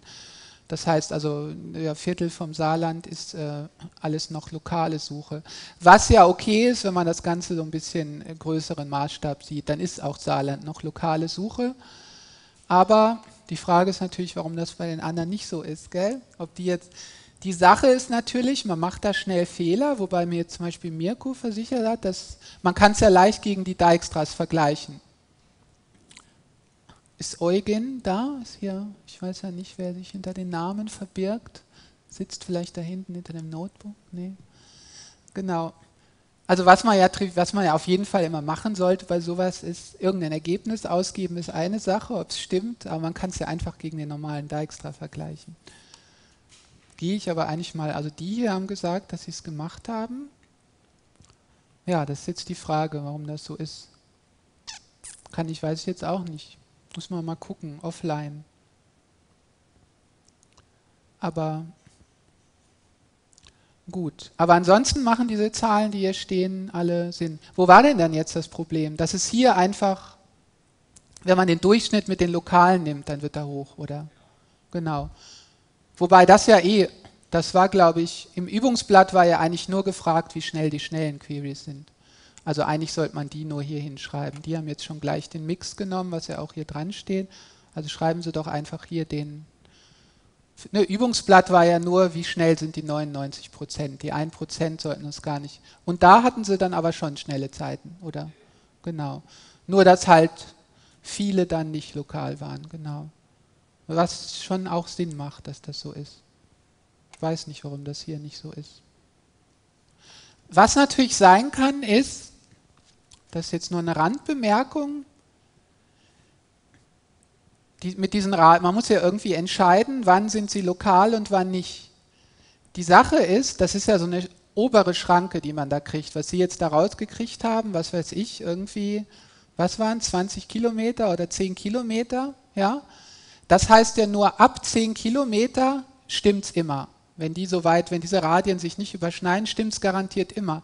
Das heißt aber nicht, dass wenn die näher zusammen sind, dass es dann nicht stimmt. Und die Erfahrung zeigt, dass es ziemlich oft dann auch noch stimmt, weil es, es reicht ja, wenn auf dem kürzesten Weg einer von diesen Knoten liegt, ne? was erstaunlich oft so ist. Das heißt, selbst wenn man einen Fehler mit dem Lokalitätskriterium macht, und vielleicht ist das ja hier passiert, dann stimmt es immer noch ziemlich oft. Nur dass halt diese Schranke zu konservativ ist. Und das ist auch tatsächlich eine der Optimierungen in diesen Arbeiten, dass man versucht, diese Schranke da besser zu machen dass man einfach ein besseres, ein schärferes Kriterium hat, wenn es lokal ist. Das könnte das noch erklären. Gut, aber ansonsten passt wunderbar zu dem, was ich behauptet und erklärt habe. Vorberechnungszeit wie Construction Hierarchies und 10 oder wenn man die nur diese schnellen Queries nimmt, 100 mal schneller. Sehr schön, genau. Und ich glaube, es war auch machbar von der Implementierung, oder? Hat man sich jetzt nicht umgebracht, wenn man Contraction Hierarchies hatte setzt man nur noch so ein Level oben drauf. Gut, dann machen wir weiter mit Multi-Criteria. Das ist ganz nett. Erstmal so ein bisschen allgemeines Blabla zur Motivation. Also bisher waren unsere Kosten immer irgendeine Zahl. Ja? Was immer die Zahl gemessen hat, bei äh, Routenplanung ist das halt meist die Zeit. Ne? Aber es gibt jetzt ja viele andere Sachen außer die Zeit, die einen interessieren könnte. Wie teuer, auch auf der Straße. Ja? Vielleicht muss ich aufs Benzingeld gucken, ist ja jetzt nicht mehr so billig. Will ich irgendwie die Route haben, wo ich am wenigsten Benzin verbrauche? Ja, da kann ja mit der Steigung zusammenhängen oder einfach der Länge und gar nicht Geschwindigkeit, wie schön es ist. Ja, ich will vielleicht, kann man ja irgendwie, manche Sachen sind irgendwie langweilige Autobahnen, andere schöne Strecke, haben ja Navis sogar drin, irgendwie Scenic Route oder sowas. Jetzt, das sind Sachen, das wollte ich hier auch sagen, nicht nur für Bus und Bahn, auch für Straßennetzwerke kann man sich andere Kostenkriterien vorstellen. Jetzt bei Bus und Bahn natürlich ich will möglichst wenig laufen zwischen Stationen. Es kann ja manchmal optimal sein, nicht die nächste Station, sondern hier einen Kilometer zu laufen, weil da ein ganz toller Bus fährt.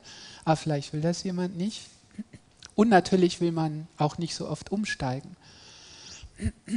Ja, einmal weniger umsteigen ist besser, meistens zumindest. So. So, jetzt zum Erklären. Man kann sich da viele Kriterien überlegen, ja, alle auf einmal, da hat man fünf. Wir nehmen jetzt mal zwei, das ist auch so ein Klassiker. Reisezeit interessiert einen immer und das andere nenne ich jetzt einfach mal Penalty. Und Sie können sich ja einfach vorstellen, Penalty ist einfach, wie oft ich umsteigen muss. Irgendwas, Penalty ist jetzt einfach noch irgendeine so Zahl, die ich immer an die Kanten dran schreibe und die mir sagt, die ist irgendwie größer, wenn ich da irgendwie mehr laufen muss oder wenn ich mehr umsteigen muss. Ja? Ich zeige Ihnen auch gleich noch ein Beispiel. Graphen. So, also wir gucken einfach. Nehmen Sie jetzt einfach Zeit und Anzahl umsteigen in Gedanken. Das ist, glaube ich, am einfachsten. So, jetzt hat man, das ist hier auch noch ganz banal, mehrere optimale Möglichkeiten. Ich kann jetzt, hatte ich in einer anderen Vorlesung schon mal erwähnt, an mein Ziel kommen in drei Stunden ohne Umsteigen oder wenn ich zwischendurch einmal umsteige, das gibt es sogar relativ oft, bin ich irgendwie schneller. Ja, welches ist jetzt besser? Es kommt drauf an. Ne? Wenn mir Umsteigen wichtiger ist, dann nehme ich lieber die. Kann ich in Ruhe arbeiten, muss nicht alles wieder einpacken, brauche ich halt eine Stunde länger. So what? Aber alles ist jetzt auch nicht unvergleichbar. Ja?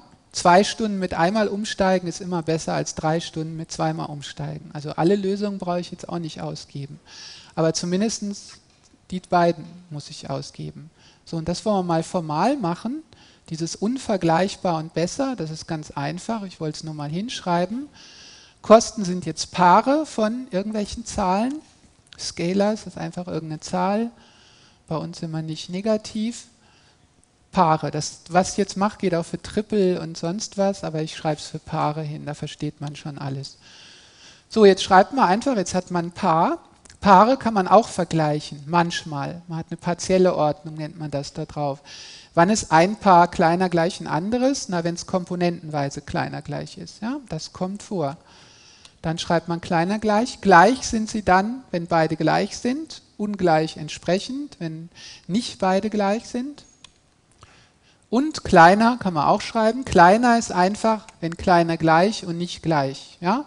Das heißt, kleiner ist zum Beispiel, wenn die ersten gleich sind und y kleiner als y', ja? Oder y, y' ist gleich und x ist kleiner als x'. Oder bei x ist kleiner x' und y ist kleiner x'. Das ist jetzt hier nur formal. Es ist genau das, was man sich vorstellt. Und dann ist aber nicht so wie bei einer totalen, bei einer totalen Ordnung gibt es jetzt ja nur äh, das, na das oder andersrum oder gleich. Ne? Ja, dann wäre es auch noch Genau, so. Hier gibt es jetzt aber auch unvergleichbar und das ist genau dann. Ich habe weder das eine ist kleiner gleich das andere, noch das andere ist kleiner gleich als das eine.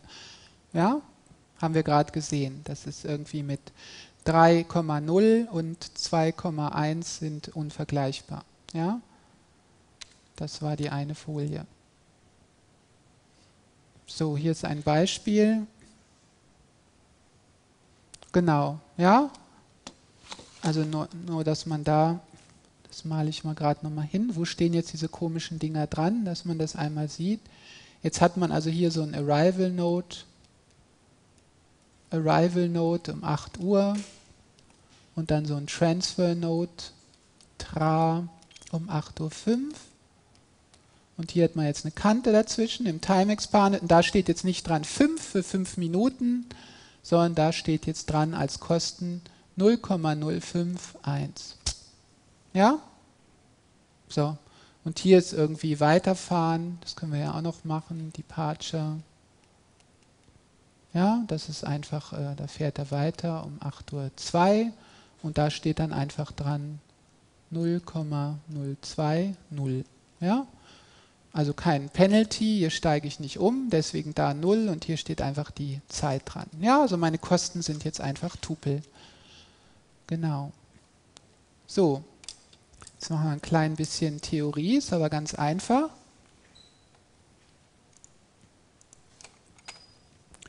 Für jede Menge von, wie kriegt man jetzt so, und wir haben schon gesehen, manche Sachen sind äh, kleiner gleich. Jetzt haben wir so eine Menge von Kosten. Jetzt behaupte ich, da gibt es immer so eine Teilmenge von Kosten. Ich suche jetzt quasi so eine optimale Menge. Ne? Und was heißt so eine optimale Teilmenge? Das heißt, in dieser Teilmenge sind alle unvergleichbar. Ja? Das heißt, ich habe in der Teilmenge nicht eins, was schlechter ist als alle anderen. Wenn in meiner Teilmenge ist, drei Stunden ohne Umsteigen und da ist auch drin fünf Stunden ohne Umsteigen, kann ich den fünf Stunden ohne Umsteigen rausschmeißen. Ja? 3,0 ist immer besser als 5,0, weil es kleiner gleich ist. Das heißt, ich will so eine Teilmenge haben, wo alle unvergleichbar sind, die drin sind. Und das kann passieren mit mehr als einem. Und aber alle aus meinem C, da gibt es einen im C', was besser ist. Ja? Ich schmeiße einfach alle raus, die irgendwie, wo es ein besseres gibt. Und der Beweis ist auch genauso. Ja? Das ist trivial zu beweisen. Ich gucke einfach mein C. Ich gucke, gibt es da eins, wo eins gibt, was besser ist, und dann schmeiße ich das raus. Ja?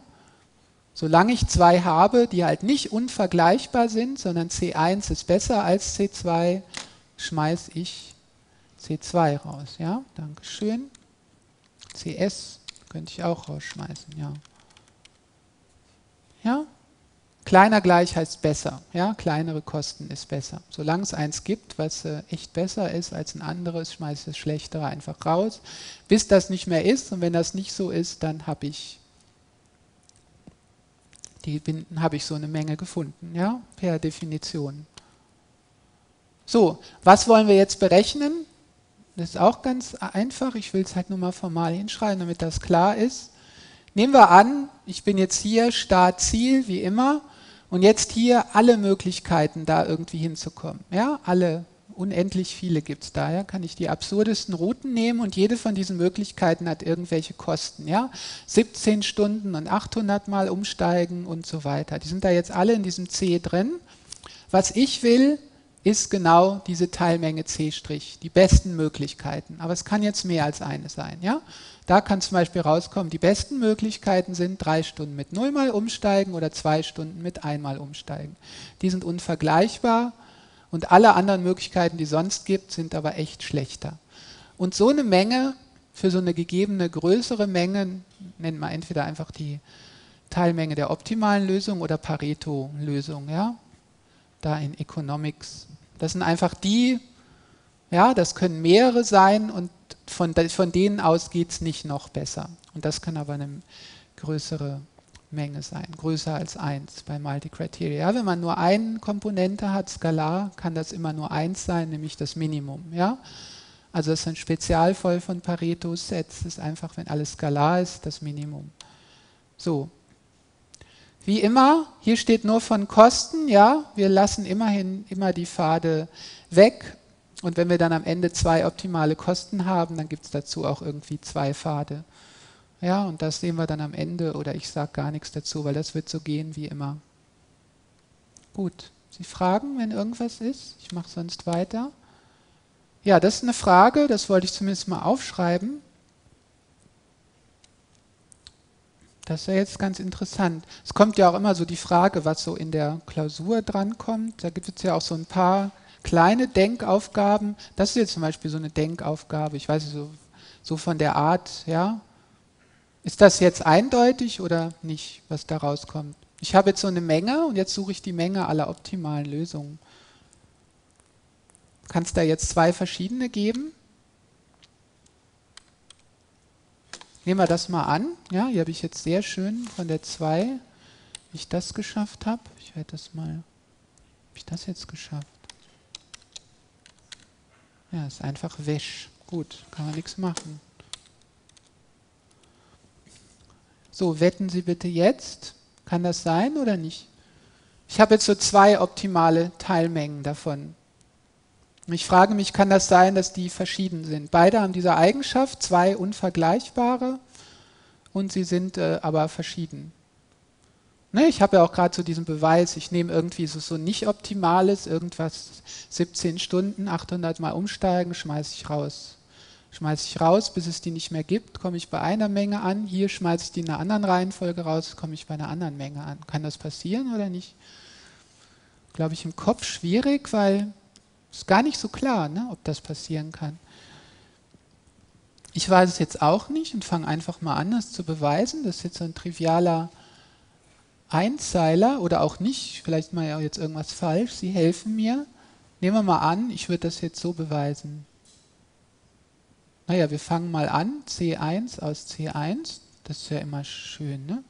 So, daraus folgt, naja, dann ist ja C1 in C. Ja? Ich habe jetzt also so zwei Teilmengen, die sind optimal. Und ich frage mich jetzt, sind die verschieden oder nicht? C1 ist aus C, so C2 ist jetzt so eine optimale Teilmenge.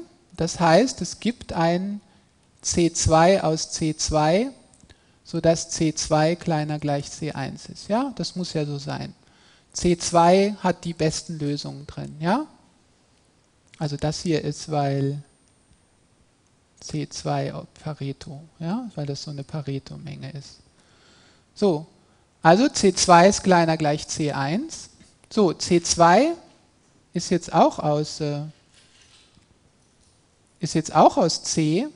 Daraus folgt, es gibt also ein C1', irgendeins aus C1 mit äh, ja, C, mein C2 ist jetzt auch aus dieser Menge C irgendeins. Das heißt, gibt aus meinem C1 irgendeins, welches weiß ich nicht, das mindestens so gut ist wie das, weil C1 ist ja auch Pareto. Ne? C1 ist ja auch, ich habe ja gesagt, ich habe zwei verschiedene. C1' ist kleiner gleich C2. Ja? Also, was habe ich? Ich habe äh, also C1' kleiner gleich C2 kleiner gleich C1. Ja? Das heißt also C1' kleiner gleich C1. So, jetzt ist aber das Pareto. Ja? C1 ist Pareto. C1 ist Pareto und da sind ja alle Lösungen unvergleichbar. Ja? Also kann das irgendwie nur sein, wenn die beiden gleich sind. Ja, es kann nicht sein, dass eins echt kleiner ist als das andere. Also müssen sie beiden gleich sein, weil sonst hätte ich einen da rausgeschmissen.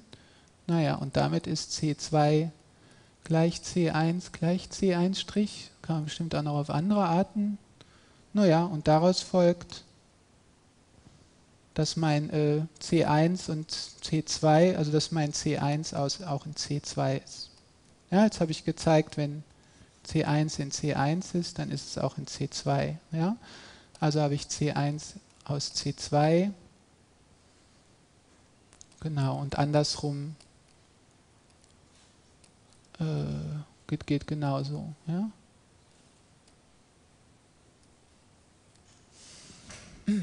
Also wenn man das so hinschreibt, dann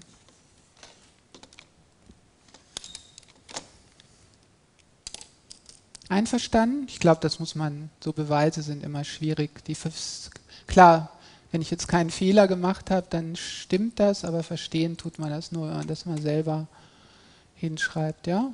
Aber Sie sehen das jetzt hier, man macht da nur völlig triviale Sachen, aber trotzdem muss man da, muss man nachdenken. Ja, die Schritte sind ja alle völlig trivial, aber die Kombination nicht. Gut, also trotzdem, wir halten mal fest jetzt, dass diese Menge unique ist. Ja, es gibt also nicht mehrere verschiedene. Das ist ja schon mal gut zu wissen, weil das wird ja wieder alles komplizierter machen. So, das ist jetzt der letzte Teil dann, Dijkstra. Wie macht man jetzt? Jetzt hat man also nicht mehr eine Menge, das hatte ich ja schon im ersten Teil erwähnt, jetzt hat man hier plötzlich zwei Möglichkeiten, die man weiter verfolgen will. Wie macht man das denn? Und das geht jetzt auch mit Dijkstra. Ja? Dijkstra geht irgendwie immer. Und jetzt die beste Art, sich das vorzustellen, ist wie folgt. Ich habe es sogar richtig geschrieben. Wahnsinn man, wir hatten diese tentativen Kosten, ja, immer an den Knoten stehen. Jetzt stellen Sie sich mal nicht vor, das als Tentative Cost, sondern einfach als so ein Label, der da an dem Knoten sitzt.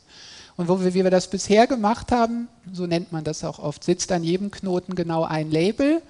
Und dieser Label, ja, also irgend irgendwas klebt da dran und da steht jetzt eine Zahl drin, nämlich diese Tentative Cost, ja, wie gut ich da bisher hinkomme. Am Anfang fange ich an mit, ich habe nur ein Label und der sitzt hier auf der Quelle und da steht 0 drin. Jetzt sind meine ganzen Labels in der Prioritätswarteschlange und die sind irgendwie angeordnet. Ja? Bei dem einfachen Dijkstra sind sie gerade nach dem angeordnet, was in dem Label drin steht. Ich erkläre Ihnen nochmal einfachen Dijkstra mit einer bestimmt bisschen anderen Sprechweise. Das ist einfach, deswegen mache ich das auch schnell. Jetzt nimmt man den nächsten Label, also den mit dem kleinsten Inhalt in dem Fall, und zetteln den. Und was heißt jetzt ein Label zetteln? Das heißt, der Label sitzt ja immer an einem Knoten. Jetzt gucke ich mir von dem Knoten die ausgehenden Kanten an und an den Knoten, die da benachbart sind, erzeuge ich jetzt neue Labels. Ne? Ich habe hier ein Label mit 5, da gibt es so eine Kante, da steht 2 dran, dann habe ich da auf der anderen Seite ein Label mit 7. Einen neuen Label mache ich dahin. Ja? So, und jetzt habe ich hier an der anderen Kante einen neuen Label mit 7. Wenn da noch keiner war, ist da jetzt der neue Label. Wenn da vorher ein Label mit 9 war, schmeiße ich einen von beiden raus. Ja? Behalte ich den mit 7.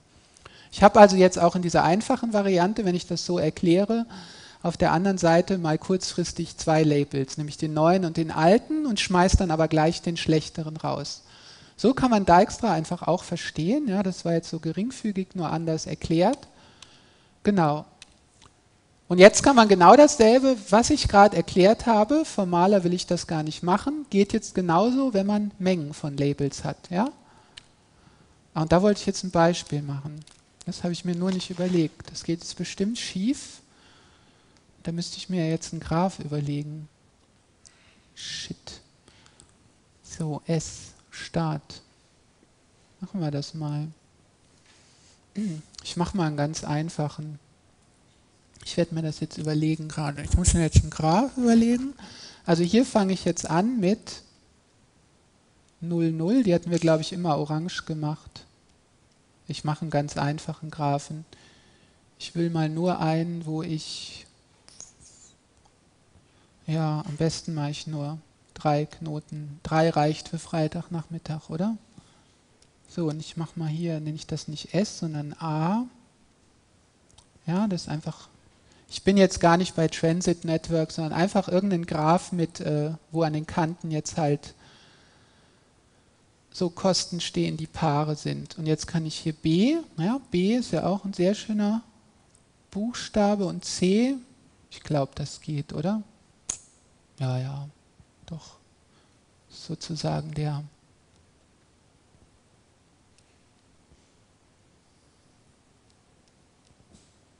Ich glaube, das reicht, um das zu illustrieren, glaube ich. Vielleicht stimmt es auch nicht, dann male ich einfach noch ein paar Kanten dran. Genau, jetzt geht es hier mit, so, jetzt mache ich hier meinetwegen Sie stellen sich gerne Travel Time, Penalty vor, aber das sind jetzt irgendwelche Kosten, die ich jetzt hier dran male. Ne? Jetzt mache ich hier zum Beispiel einfach 1, 1 und hier mache ich dann 1,0 und hier mache ich 3,0. Ja? Das ist doch sehr schöne Zahlen, oder? Genau. So, jetzt mache ich meinen Dijkstra.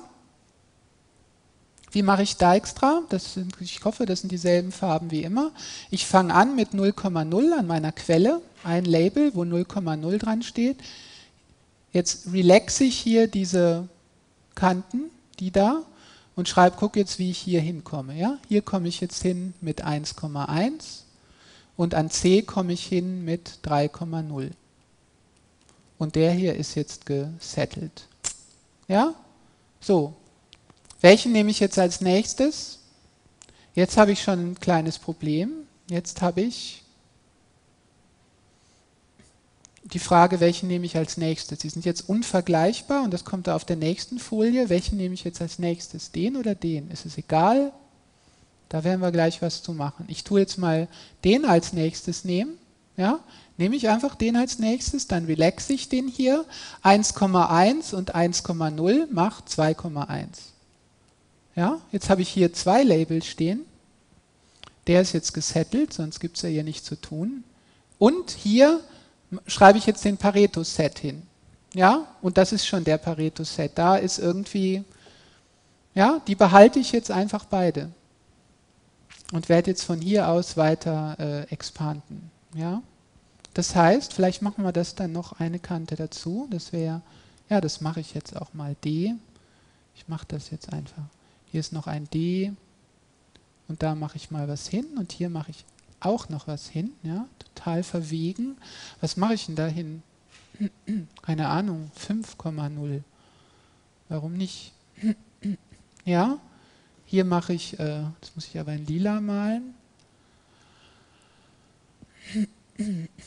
Genau, oder 3,2, 2,2. Ist auch sehr schön. So, das heißt, den habe ich ja schon beim Setteln von hier, habe ich den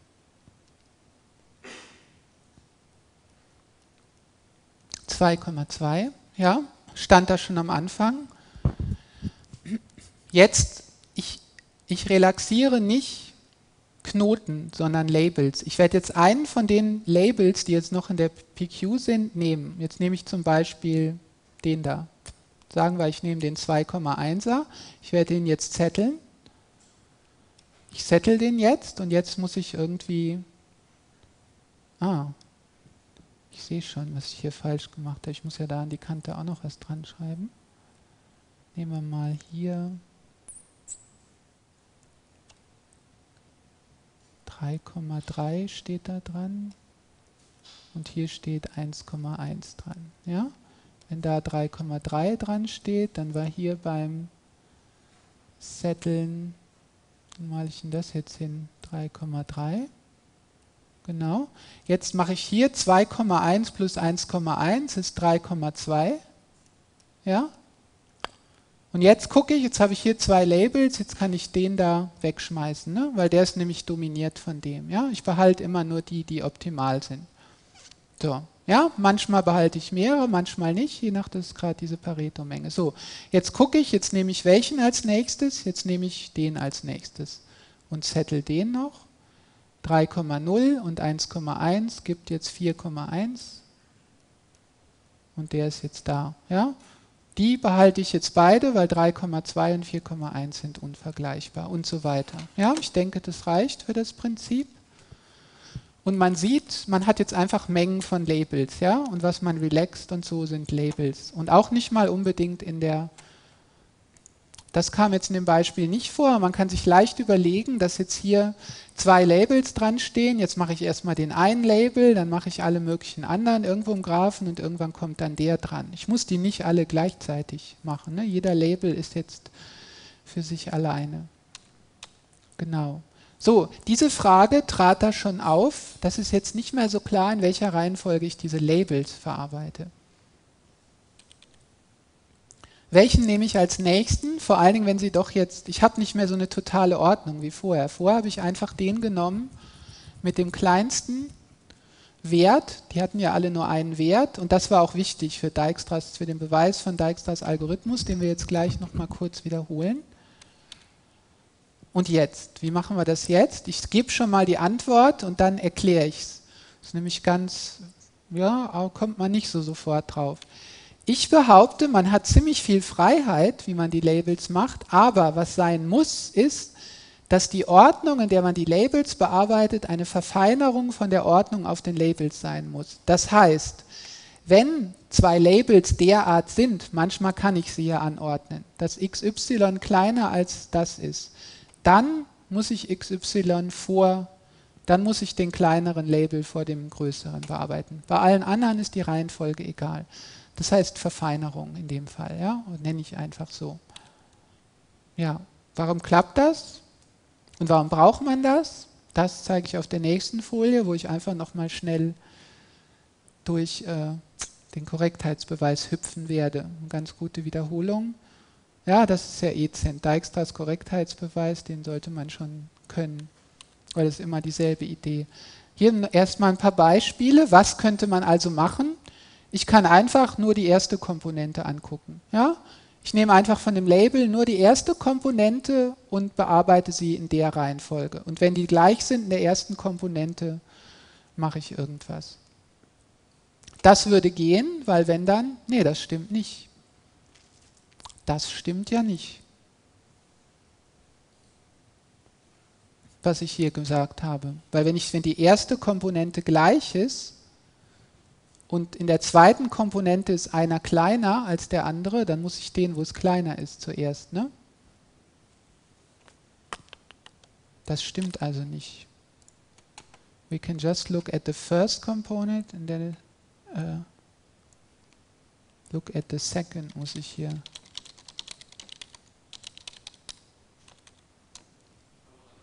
Ja. Ja. Ja. Doch. Doch, doch. Ja, ja, glaub schon. Wenn ich habe 5,0 ist kleiner als 5,1. Kleiner heißt in einer das ist kleiner. Ne? 5,0 ist echt besser als 5,1. Das heißt, wenn ich jetzt nur die erste Komponente angucke, dann sind die gleich. Jetzt kann ich die nicht in irgendeiner Reihe. Ich muss den vor dem. Das heißt, ich muss dann Tie-Breaking mit der machen. Ja, Tie, Tie heißt unentschieden, Tie-Break heißt das unentschieden, irgend so nennt man immer so. Ja, gibt es nicht nur im Tennis. Und genauso dasselbe bei der zweiten Komponente, wenn die gleich ist, muss ich die erste nehmen. Ich kann aber auch andere Sachen machen. Und das sind auch wieder, das sind genauso Stellen, da muss man dann schon mal einen Schritt zurückgehen und ein bisschen rechnen, ne? weil da kommt man jetzt nicht durch äh, High-Level-Intuition drauf, was man da darf und was nicht. Mit der Definition, die ich noch nicht bewiesen, bisher nur behauptet habe, geht auch das. Ne? Ich kann einfach die Summe von beiden nehmen. Wenn ich nach der Summe anordne, dann stimmt das ja auch. Ne? Wenn, die, wenn nämlich das echt kleiner ist, dann ist die Summe auch echt kleiner. Ja? Weil dann ist nämlich, entweder sind beide echt kleiner Komponenten oder eine gleich und die andere kleiner. Also nach Summe könnte ich auch anordnen. Stellt sich natürlich hier noch eine andere Frage, was ist denn dann besser, wenn man so viele Möglichkeiten hat? Da gehe ich jetzt mal nicht drauf ein. Aber die Frage ist, warum das hier? Und wenn man jetzt einen Schritt zurückgeht zum Korrektheitsalgorithmus, äh, Korrektheitsbeweis, dann sieht man das. Den werde ich einfach nochmal kurz skizzieren und dabei ein Bild malen. Und dann sind wir auch schon fast fertig, wir sind ja auch fast am Ende der Zeit. Die einfachste Art, Dijkstra zu Korrektheitsbeweisen, da gibt es irgendwie so viele Beweise und diesen klassischen Widerspruchsbeweis, ich hatte das ja extra nicht so bewiesen, sondern man stellt sich vor, Dijkstra besucht die Sachen ja in so einer bestimmten Reihenfolge, ja? Und zwar irgendwie intuitiv, also das ist wirklich das, wie man das am besten versteht, glaube ich. Ich fange an, an, und dann gehe ich zu dem, den ich als nächstes erreichen kann, als nächstes, als nächstes. Ja? In, auf, in der Reihenfolge aufsteigender Tentative Cost. Und der Beweis ist ganz einfach, wenn die alle verschieden sind. Er wird dann kompliziert, wenn es irgendwie drei Knoten sind, die ich mit exakt denselben Kosten erreichen kann, weil dann hat man plötzlich so, dann klappt Dijkstra nämlich unabhängig davon, in welcher Reihenfolge ich diese drei gleichen besuche. Und dann wird der Beweis ein bisschen trickier. Aber wenn man das mal weglässt und so tut, als wären die alle verschieden, genau das mache ich jetzt hier auch. Ich nehme einfach mal an, ich habe meine, ja, ich habe jetzt so alle möglichen das Endergebnis ist irgendwie hier, äh, den Knoten erreiche ich mit den beiden unvergleichlichen Kosten, den Knoten mit den beiden. Und all diese Kosten schreibe ich jetzt mal hin und ich nehme an, ich kann die so anordnen. was natürlich jetzt, äh, da fällt mir gerade was auf, das ja schon eine sehr spezielle Annahme, dass ich die so anordnen kann. Aber da muss ich nochmal drüber nachdenken. Ich tue jetzt trotzdem mal so, als könnte ich das. Ich glaube, das ist etwas zu speziell, die Annahme. Aber die Idee stimmt trotzdem. Also wenn das gilt, dann stimmt das trotzdem, was ich jetzt zeige. Jetzt nehmen wir mal an, da male ich jetzt ein Bild zu. Ich habe jetzt hier mein S, wie üblich, und jetzt hier mein T. Und da ist der kürzeste Weg, der läuft irgendwie lang, ja. Nee, muss ich doch jetzt noch. Brauche ich immer noch eine Kante mehr. Genau, also hier ist mein T. Target. Und das ist die letzte Kante auf dem kürzesten Weg. Ja? Und das hier ist gerade der Knoten davor. Den nenne ich U oder V. Nee. Nee, falsch. U und V habe ich gerade das genannt hier im Text. Da sollte ich das hier auch so nennen werde ich tun. Das ist jetzt U und das ist V. So, und jetzt bin ich dazu. Und hier komme ich jetzt hin mit Kosten x, y. Sorry, das ist jetzt hier gerade über die Schrift mal. Und hier komme ich hin mit Kosten x, y. Ja? So, und jetzt ist das gerade Jetzt stehen ja hier wieder nicht negative Kosten dran irgendwie. Hier steht nicht 0,0 dran. Das, das nehme ich gerade an, ja, weil wenn das so wäre, wenn hier 0,0 dran stehen würde, dann dann äh, hätte ich nicht diese Annahme. Also 0,0, das ist ja genau wie bei dem normalen Beweis, dass irgendwie Kanten, wo 0 dran steht, machen es irgendwie schwieriger. Es geht dann immer noch, aber sie machen den Beweis schwieriger. Wenn das nicht so ist, dann ist das x', y' echt kleiner. Ja? In einem von beiden wird das kleiner sein. Weil das echt kleiner ist, hab, kommt das in der Reihenfolge vorher und dann macht man wieder diesen Induktionsbeweis. Der Induktionsbeweis sagt nämlich einfach, ich kann die so anordnen mein Dijkstra wird sie in der Reihenfolge besuchen und wenn er auf einen trifft, dann ist das der richtige. Ja? Und ich gehe einfach immer aus, dann der Induktionsbeweis ist, bis hierhin stimmt alles und dann stimmt auch der nächste. Ja? Wenn ich den treffe, dann wenn der kürzeste Pfad hier rüber geht, dann habe ich den schon vorher verarbeitet, für den war alles richtig und dann über das Relaxieren von der Kante kriege ich dann auch den Label und den schmeiße ich dann auch nicht mehr raus, weil er optimal ist. Ja? Das ist jetzt nur noch mal ganz kurz, nicht im Detail, können Sie sich gerne in Ruhe auch noch mal aufschreiben.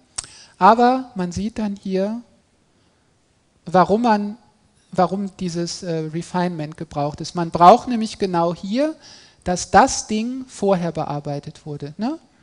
Das Ding, was echt kleiner ist, muss vorher bearbeitet worden sein. Wenn es echt kleiner ist, vorher. Das ist genau meine Anforderung, die ich an die Reihenfolge der Labelverarbeitung hatte. Sonst habe ich hier ein Problem. Ne?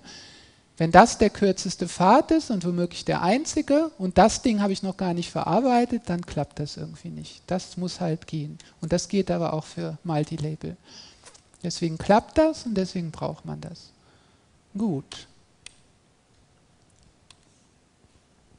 Das wollte ich noch sagen, genau, das ist, glaube ich, das letzte und dann kommt die, genau. Das ist jetzt noch so ein Psi-Phänomen. Wie ist denn das im Time-Dependent Graph?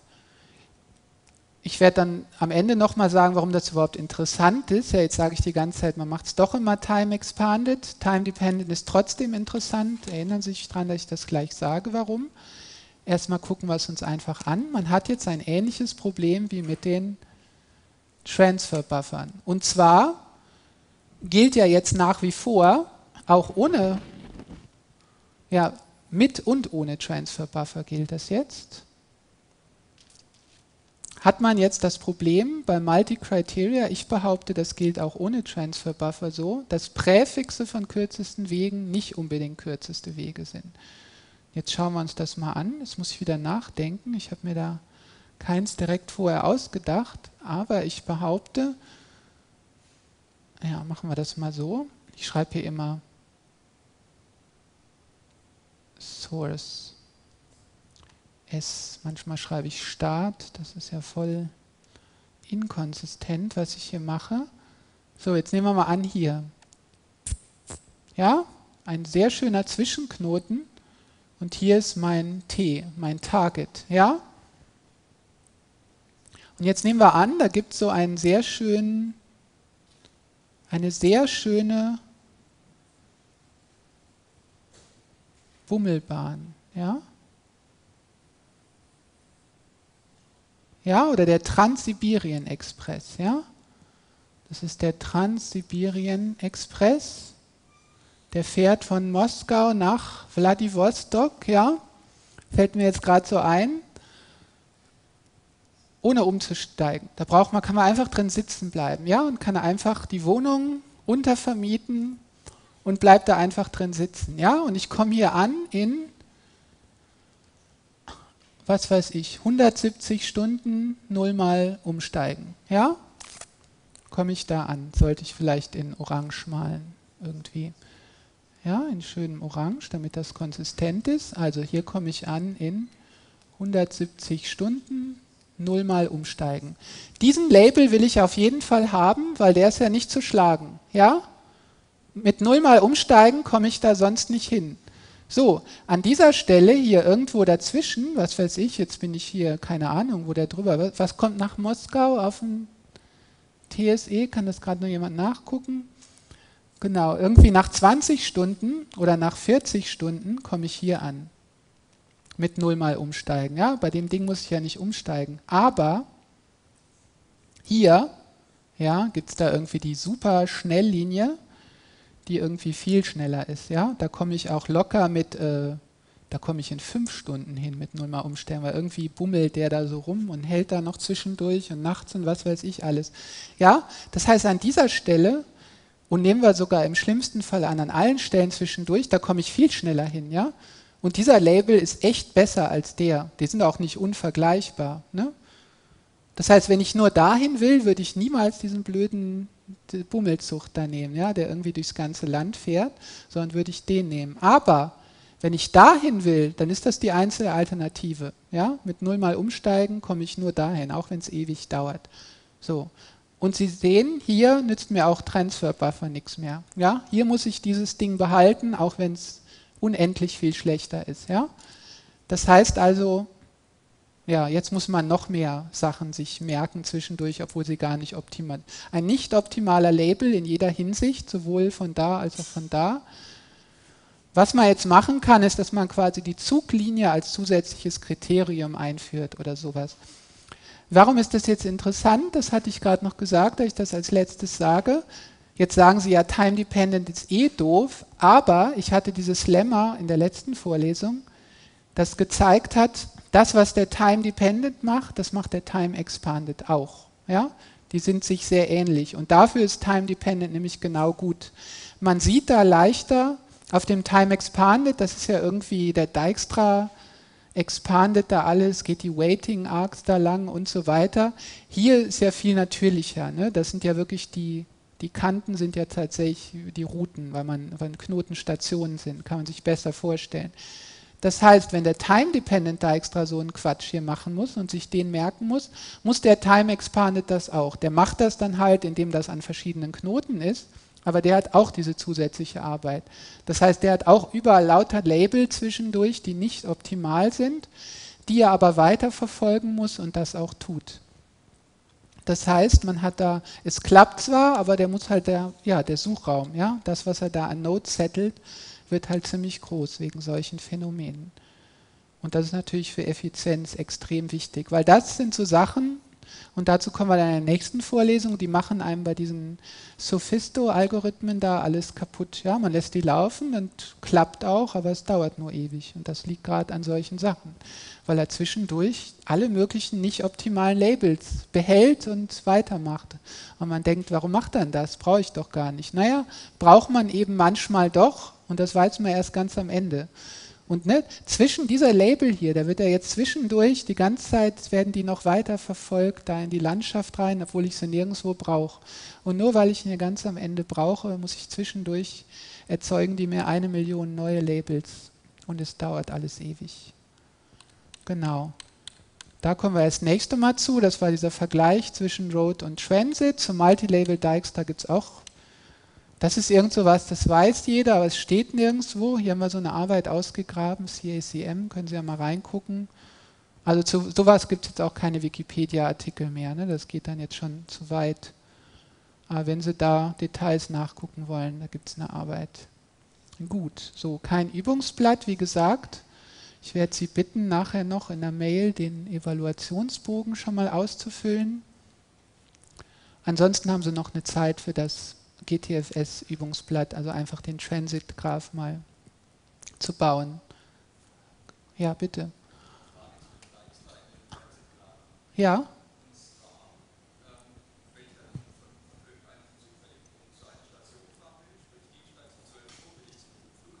Hm.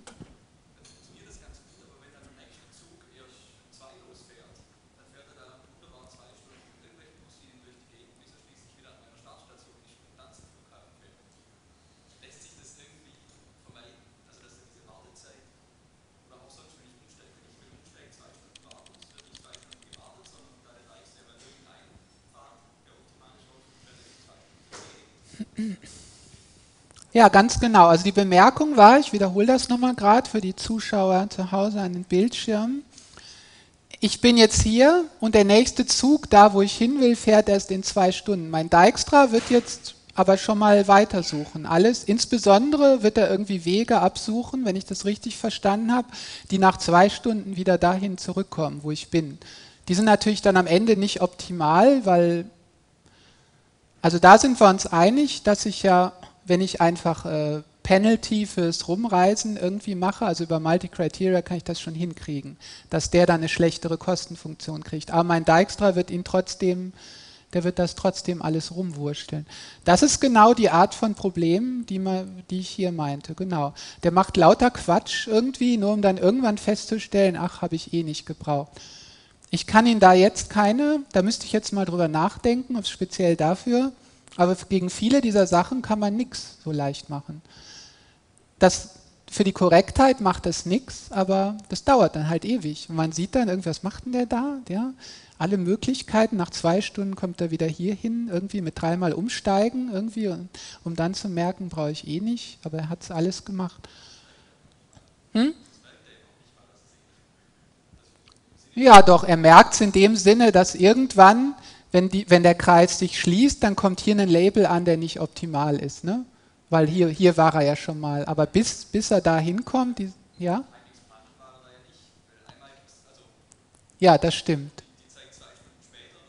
Na, das kommt drauf an. Also wenn man warten an derselben Station, wenn man das Multi-Criteria so macht, dass das billiger ist als rumfahren, also wenn man rumfahren einen kleinen Penalty gibt und umsteigen, Umsteigen hat ja ein Penalty. Also dann mit dreimal Umsteigen zur selben Station kommen, ist ja teurer als einfach die zwei Stunden warten. Ne? Ja. ja, beim normalen nicht, genau. Also Multi-Criteria braucht man da. Ja, genau. Also nicht so einfach. Genau, gute Bemerkung. Gibt es sonst noch eine Frage, Bemerkung? Gut, dann wünsche ich ein schönes Wochenende. Tschüss.